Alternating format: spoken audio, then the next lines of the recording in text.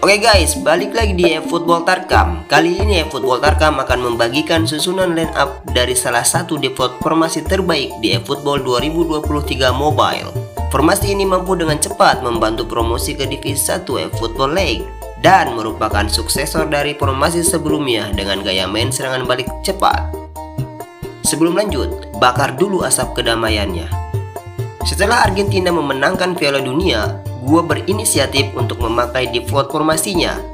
Setelah mencoba beberapa pemain dari jenis kartu, akhirnya menemukan susunan pemain terbaiknya.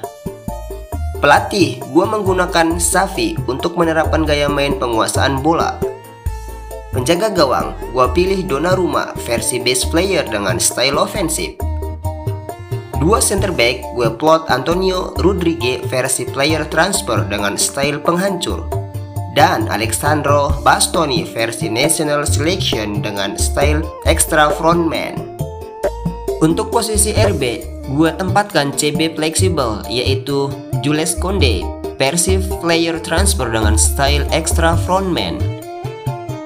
Dan untuk posisi LB, gue pilih Joe Cancelo versi best player dengan style fullback finisher.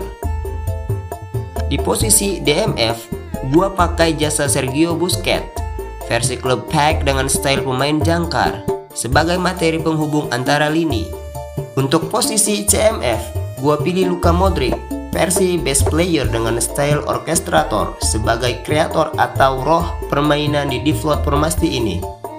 Di posisi RMF dan LMF, gue tempatkan dua sprinter turbo untuk bermanuver ke kotak 16 lawan, yaitu Bukaya Kosaka versi Golden Boys dengan style prolific winger di sektor kanan, dan memflot CF serbaguna yaitu Kylian Mbappe versi national team dengan style pemburu gol di sektor kiri.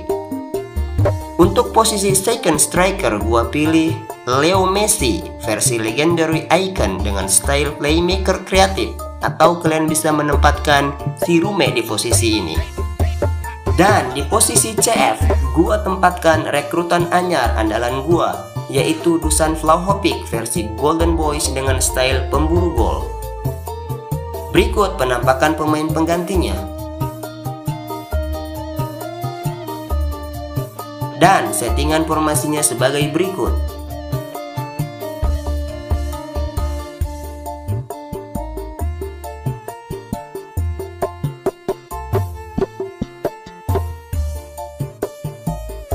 Demikian line up terbaik dari default formasi timnas Argentina versi eFootball Tarkam dengan memanfaatkan pemain-pemain yang gue miliki dan gue butuhkan tentunya.